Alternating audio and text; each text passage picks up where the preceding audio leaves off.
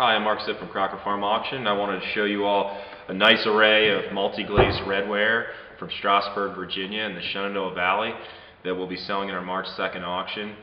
Um, as you can see, multi-glazed or polychrome glazed earthenware, as some people call it, uh, was, was produced in a variety of forms by both the Bells and Eberlys in Strasburg, Virginia uh, during the latter part of the 19th century.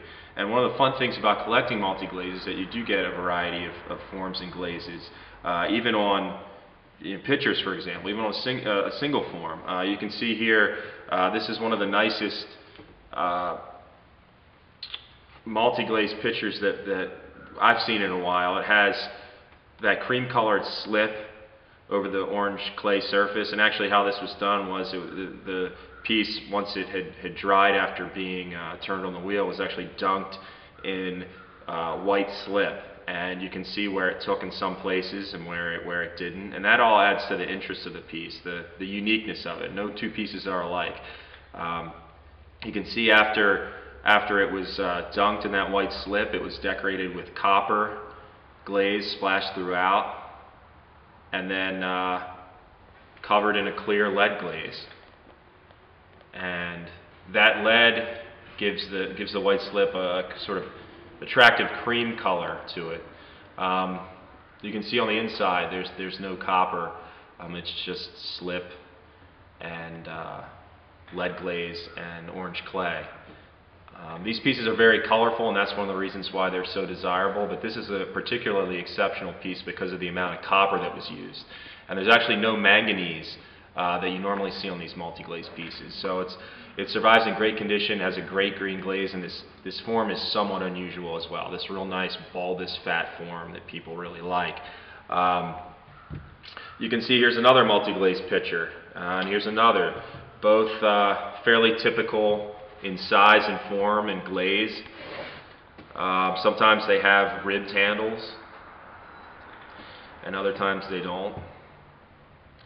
But they almost always have that footed base, and sometimes they're a little more ovoid than others. This might be an Eberly example, and, and this could very well be a Bell example um, because of the shape of it. It's a little more ovoid.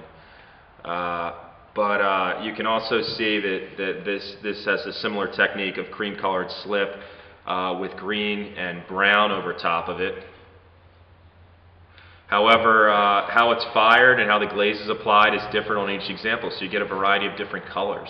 Um, this example is interesting because not only is it a toy pitcher uh, that descended in the Cooley family of uh, Strasburg, Virginia, and uh, one of the Cooleys actually married R.F. Bell, uh, the nephew of Solomon Bell and the son of Samuel Bell.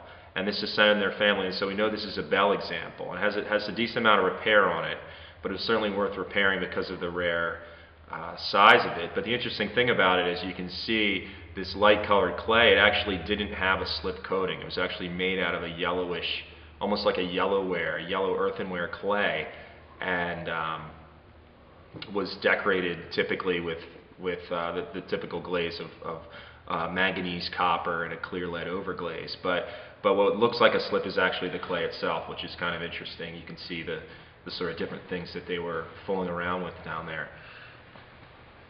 Um, this is a fairly typical cuspidor, probably Eberly. Has a nice flared top. This form's a little more desirable than the rounded uh, spittoons that they made with the enclosed tops. And it has nice tooling around the midsection.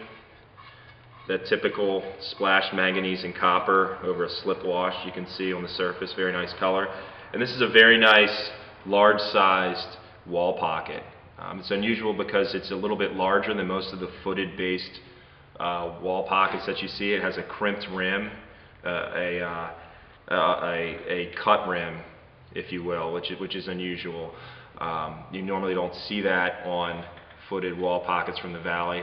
Uh, this, this could be a Bell example or an Eberly example. I've heard that most Eberly examples are the footed kind, so perhaps it's Eberly.